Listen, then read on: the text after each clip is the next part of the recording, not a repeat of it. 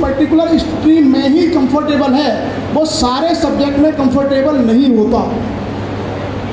किसी को मैथ आसान लगता है, किसी को हिस्ट्री बहुत खतरनाक लगती है, किसी को हिस्ट्री बहुत आसान लगती है मैथ में डब्बा गुल होता है?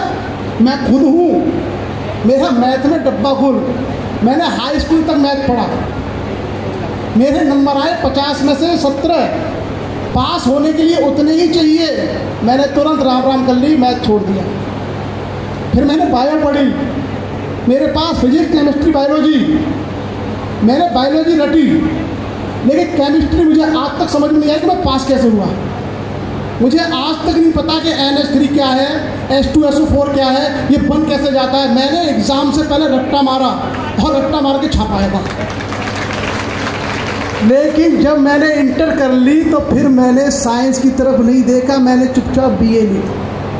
मैंने कहा, भाई, मुझे हिस्ट्री अच्छी लगती है, इकोनॉमिक्स अच्छी लगती है, पॉलिटिकल साइंस